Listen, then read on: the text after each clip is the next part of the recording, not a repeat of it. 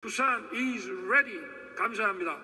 윤석열 대통령은 프랑스 파리에서 개최지 결정 투표에 나설 각국 대표들을 직접 일일이 접촉했습니다. 모든 참가국에 도움이 될 엑스포, 공통의 문제를 논의할 엑스포를 비전으로 지지를 호소했습니다. 국가 간 격차를 줄이고 인류의 지속 가능한 번영의 토대를 만들어 내고자 하는 것이 부산 엑스포의 정신이자 비전입니다. 모든 회원국, 특히 어려운 나라의 지원도 약속했습니다. 회원국들의 박람회 준비 과정을 세심하게 살피면서 역대 최대 규모의 지원 패키지를 제공할 것입니다. 2030 엑스포 후보지는 부산과 사우디 리야드, 이탈리아 로마입니다.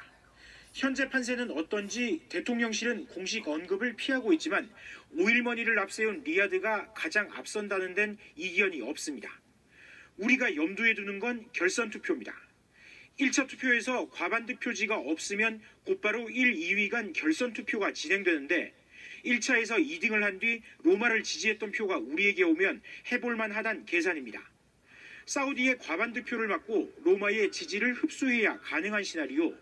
윤 대통령이 직접 막판 유치전을 벌이고 한덕수 총리가 투표일까지 이를 이어받는 건 이 때문입니다.